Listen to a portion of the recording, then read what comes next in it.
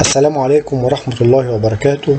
معكم أيمن مدحت المحاضر في مجال ال safety ومحاضرة جديدة على قناة أيمن مدحت for safety study ومحاضرتنا اليوم بعنوان Your way to occupational health and safety world أو طريقك لعالم السلامة والصحة المهنية. بس أستأذنكم قبل ما نبدأ نفعل subscribe أو الاشتراك في القناة وال alarm عشان يصلكم كل جديد في القناة. Our target أو الهدف بتاعنا من المحاضرة إننا نحط الناس اللي سألت الفترة اللي فاتت إزاي تخش career ال safety أو حتى الناس اللي عايزة ت shift career من مجال لمجال وتخش مجال ال safety وده هيبقى عن طريق شرح بعض المصطلحات المهمة والقوانين المنظمة والمخاطر المحيطة والمسمى الوظيفي للناس اللي شغالة في مجال ال safety وإيه هي الوظائف المتاحة وبعض المهام الوظيفية للناس اللي شغالة في career ال safety وبعض الاختصارات وإزاي نبدأ في career ال safety وأمثلة على الكورسات المتاحة وبعض المواقع المهمة والمفيدة في المجال وكذلك بعض ال applications أو التطبيقات على الموبايل المجانية المهمة في مجال ال safety. Why. لماذا مجال ال safety ليه الناس الفترة اللي فاتت بدأت تسمع كلمة safety بتتردد كتير. حتى الناس اللي متابعة مواقع التوظيف دايما تتطلب وظائف في مجال السيفتي طب إيه يعني؟ عايزين نعرف ليه؟ الموضوع ده بيرجع لعدة أسباب. أول سبب إنه legal requirement أو متطلب قانوني. إن لازم كل منشأة يزيد عدد أفرادها عن عدد معين يكون فيها مسؤولين في مجال السيفتي تاني حاجة لأن عدم الاهتمام بمجال ال safety بيترجم ل cost وال cost ده بيبقى مباشر وغير مباشر واللي بنسميه التأثير المباشر والغير مباشر للحوادث. تالت سبب عندنا ال reputation أو السمعة بتاعت الشركة. الشركات دلوقتي بقت بتتباهى بينها وبين بعضها باهتمامها بمجال ال safety وكل شركة تتباهى إن هي عدت كام ألف ساعة بدون حوادث وكام ألف ساعة بدون خرق لقوانين. السيفتي على العكس لما شركة يحصل فيها حادثة بتبقى سبة ووصمة عار على جبين الشركة. وعندنا سبب أخلاقي. أنا بهتم بصحة الناس كحاجة أخلاقية. Definitions أو تعريفات. ما ينفعش حد يخش كارير السيفتي من غير ما يعرف أهم ثلاث تعريفات health safety and environment. سلامة وصحة وبيئة. أول تعريف عندنا هو السيفتي أو السلامة. والسلامة ليس فقط هي عدم وجود حوادث ولكن نتيجة إن كل شخص في بيئة العمل بياخد مواقف إيجابية للتعرف على أسباب الحوادث أو وضع ال control measure أو الحلول الوقائية. يعني بالبلدي نسميها الوقاية خير من العلاج. اللي إحنا بنسميها عندنا في career ال safety إن أنت تبقى proactive يعني بتاخد القرار قبل وقوع الحادثة.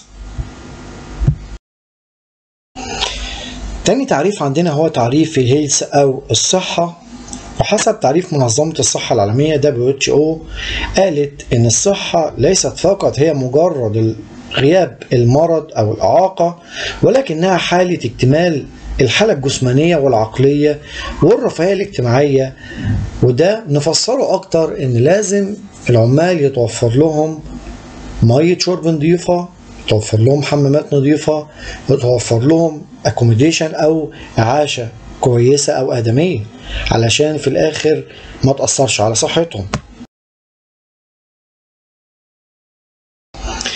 التعريف الثالث عندنا هو تعريف ال environment أو البيئة وهو العالم الطبيعي اللي بيعيش فيه الإنسان والحيوان والنبات.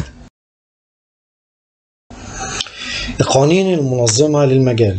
أشهر قانونين عندنا منظمين لمجال السلامة والصحة المهنية والبيئة هو قانون 12 لسنة 2003 الكتاب الخامس وقانون البيئة 4 لسنة 94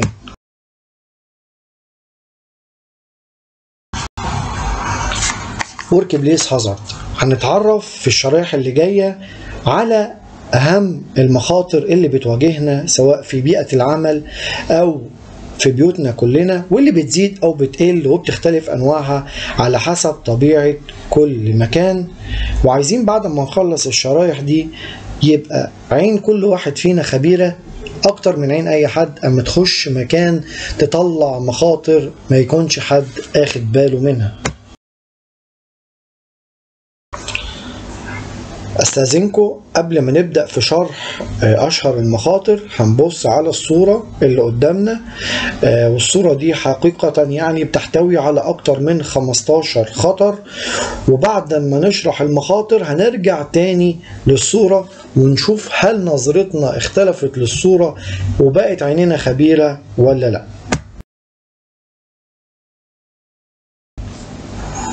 أول وأشهر خطر عندنا هو التريبنج هازارد أو مخاطر التعثر.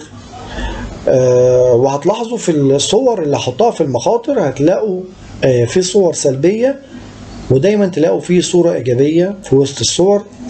يعني على سبيل المثال عندنا هنبص كده على أه الشريحة بتاعة التريبنج هازارد. يعني أشهر مخاطر التعثر كلنا بنتعرض لها. التعثر في سجادة البيت التعثر في حفرة وإحنا ماشيين في سلمة عالية. وآخر صورة اللي هي الصورة الإيجابية شايفين في سلك ممدد وعلشان الناس تاخد بالها من مخاطر التعثر محطوط عليه safety sign أو لافتة بتحذر الناس إن في سلك ممدد إن هو ممكن يتعرضوا لل tripping hazard أو مخاطر التعثر.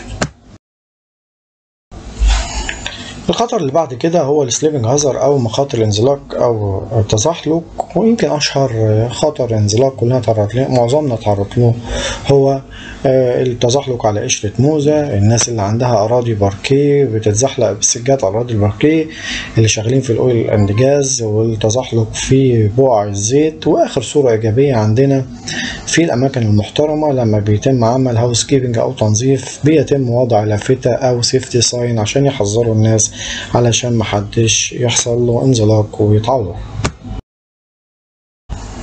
الخطر اللي بعد كده هو ال working at height أو العمل على الارتفاعات. زي ما إحنا شايفين في الصورة آه الناس اللي بتشتغل في التكييفات وشغلها بدون أي وسائل آه حماية. على العكس أو النقيض في الصورة التانية الناس اللي آه بتشتغل في تنظيف الواجهات الزجاجية شايفين إزاي واخدين وسائل أمان للحماية من السقوط. الخطر اللي بعد كده ال fire hazard أو مخاطر الحريق حدث ولا حرج. طبعا واحد من أشهر وأخطر المخاطر اللي كلنا ممكن نتعرض لها في البيت أو في العمل. الخطر اللي بعد كده هو ال electrical hazard أو مخاطر الكهرباء يمكن شايفين في الصورة الصورة المؤسفة للأسف للناس اللي هي شغالة في أعمدة الضغط العالي بدون أي وسائل حماية. ويمكن أنا يعني واحد من الناس حصل قدامي حالة صعق كهربي فعلا الموضوع بيبقى صعب جدا الشخص بيزرق. ولولا بعد ستر ربنا شطارة الدكتور لحقه. فيعني واحد من أخطر الحاجات اللي ممكن تقابلنا هي ال electrical hazard أو مخاطر الكهرباء. بعد كده عندنا ال violence hazard أو مخاطر العنف وده نوع من أنواع المخاطر بيتعرض لها الناس اللي شغالة في الوظائف الخدمات العامة وخدمة العملاء أو الوظائف اللي بيحتم على شغاليها إن هم يشيلوا فلوس أو يقوموا بزيارات ليلية. عندنا بعد كده النويز هازارد أو مخاطر الضوضاء واللي على المدى البعيد بتسبب التوتر وكمان ممكن تجيب صمم. biological hazard أو المخاطر البيولوجية فيروسات بقى فطريات طفيليات آه، بكتيريا وطبعا إحنا اليومين دول عايشين طبعا في الكوفيد 19 chemical hazard المخاطر الكيميائية آه، منظفات آه، بويات آه، زيوت صبغات الاستريس هازارد أو مخاطر التوتر وأنا في وجهة نظري إن ده أخطر هازارد فيهم التوتر يخليك تقوم بكل المخاطر اللي فاتت. خلاص تعرفنا بقى على الهازارد. نبص بقى بالعين الخبيرة. اللي درست الصورة رجعنا لها تاني ونشوف بقى أنواع المخاطر بأسمائها زي ما إحنا درسناها. يلا نبص كده مع بعض. شايفين إيه بقى في الصورة؟ ها؟ حد أخد باله من المية اللي نازلة من الزرع اللي عند الشباك على الكيسة بتاعت الكمبيوتر؟ ده الكتريكال هازارد شايفين الراجل اللي قاعد على الكرسي وتحتيه جنبيه حفرة ده يعتبر tripping hazard أو مخاطر تعثر. شايفين الأستاذة اللي شايلة الملفات وقدامها آه، سلك ده tripping hazard.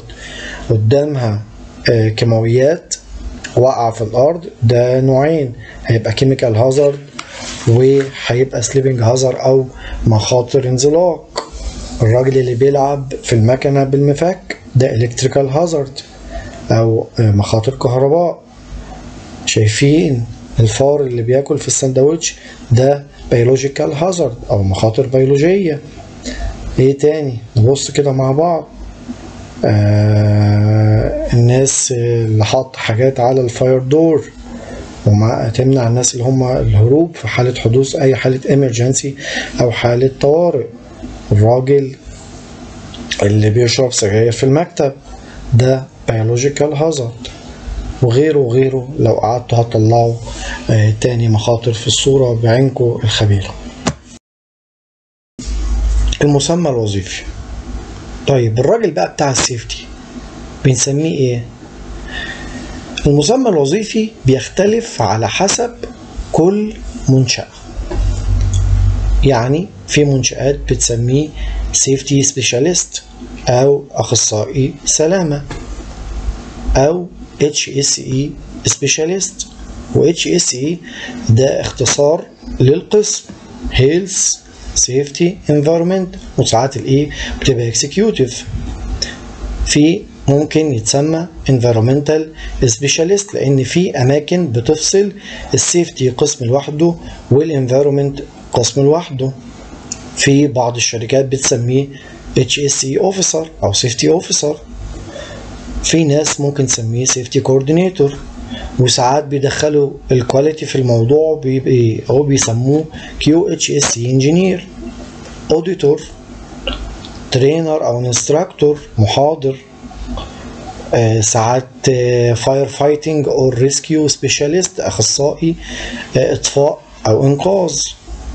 وساعات في ناس بتبقى متخصصة في ال lifting ولو إن موضوع ال lifting ده بقى خلاص مجال لوحده ليه ناس متخصصين.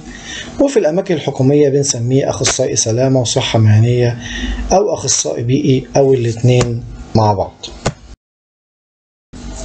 ال available jobs أو الوظائف المتاحة. إحنا اتفقنا في الأول إن موضوع وجود آه، مسؤول ال safety بقى legal requirement أو متطلب قانوني. لذلك تقريبا ما عادش في منشأة بيخلو منها الراجل بتاع ال safety. عد بقى construction مجال الإنشاءات الأويل أند جاز الكيميكال والبتروكيميكال والفود إندستري أو مجال الأغذية ال garment مجال الأقمشة حتى في المطارات مجال آه، الدهانات المواني. وعايزين تعرفوا أهمية الراجل بتاع ال safety. بصوا على إعلانات الوظائف وشوفوا كام وظيفة بتنزل للناس بتوع ال safety. المهام الوظيفية أو ال job description لمسؤول ال safety في المكان ودي بتختلف صغرت أو كبرت على حسب ال policy أو سياسة كل منشأة. أشهر حاجة عندنا 3M دي هو مسؤول عن ال man الأشخاص وال machine علشان ما تضرش الأشخاص وتسبب الحوادث والاستعمال أمثل لل material ونضيف عليهم طبعا ال environment زي ما اتفقنا. إنه بيشارك في وضع ومراجعة ال safety policy أو خطة السلامة. تالت حاجة وهي الأهم he is an advisor not a commander. ناس كتير بتخش مجال السيفتي وبتفشل فيه. أنت كراجل بتاع سيفتي وظيفتك خطيرة جدا لأنك وظيفتك بتعتمد على تغيير الثقافة ودي أخطر حاجة. فهتتعامل مع الناس بتعالي وعجرفة هتخسر وظيفتك ومش هتقوم بمهامك الوظيفية. عندنا برضو من مهام المسؤول ال safety إن هو يعمل improvement لل safety culture أو يعزز ثقافة السلامة للعمال وبيتعرف على المخاطر داخل بيئة العمل وطريقة التحكم المناسبة أو control measure وزي ما قلنا كل مدى بتبقى عينيه خبيرة أكتر من أي حد وكمان بيشارك في وضع ال risk assessment أو تقييم المخاطر في بيئة العمل. من مهام الراجل مسؤول ال safety في المكان اللي هو بيشارك في عمل أو إعداد ال permit work أو تصريح العمل. ولو هو من مهامه الوظيفية القياسات البيئية كمان بيعمل تفتيش دوري على ال PPE أو مهمات الوقاية الشخصية ومدى التزام العمال بيها. وكمان لو دخل في وسط مهامه الوظيفية كمان التفتيش على وسائل الإطفاء زي طفايات الحريق وخطة الإخلاء بالمكان وبيعمل training أو بيقوم بتدريب العمال داخل المنشأة بيعمل reporting لل accident أو الإبلاغ عن الحوادث وكمان بيشارك في ال accident investigation أو التحقيق في الحوادث وبيعمل التقارير سواء كانت daily أو weekly أو monthly على حسب ال policy بتاعت كل شركة. مصطلحات هامة.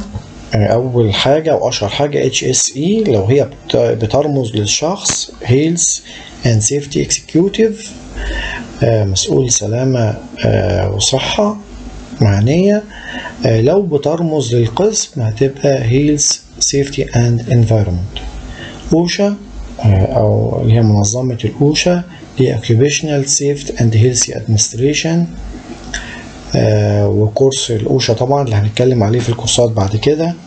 كلمة PPE اللي هي ال personal protective equipment اللي هي مهمات الوقاية الشخصية زي الخوذة والنضارة وال overall وال safety shoes PTW أو permit to work تصريح العمل ايزو اللي هي International Standard Organization. آخر حاجة induction lecture. وهي المحاضرة التعريفية. أي حد بيروح منشأة سواء كان راجل مقاول هيشتغل هيعمل شغلانة أو كان visitor أو زائر أو كان شخص أول شغل ليه في المنشأة لازم بياخد ال induction أو المحاضرة التعريفية واللي بيتعرف فيها على أهم القواعد الموجودة في المكان وال policy بتاعة المكان ومنطقة التجمع في أو ال muster point في حالة حدوث أي خطر وأنواع ال alarm اللي موجودة وال welfare أو مناطق تواجد الحمامات وهكذا. From where we can start. السؤال الأهم من أين أبدأ؟ سواء كنت لسه عايز أخش المجال الجديد أو عايز أعمل شيفت للكارير إيه الكورسات اللي أبدأ بيها؟